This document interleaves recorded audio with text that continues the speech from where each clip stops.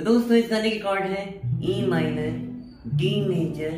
C major और B minor strumming से use हुई है down down up down up down down up down up तो चलिए, मैं आपको थोड़ा सा गाकर दिखाता हूँ कॉर्ड शिफ्टिंग कैसे करनी है।